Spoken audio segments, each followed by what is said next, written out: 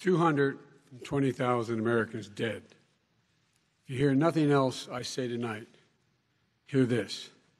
Anyone who's responsible for not taking control, in fact, not saying I'm, I take no responsibility initially, anyone who's responsible for that many deaths should not remain as President of the United States of America.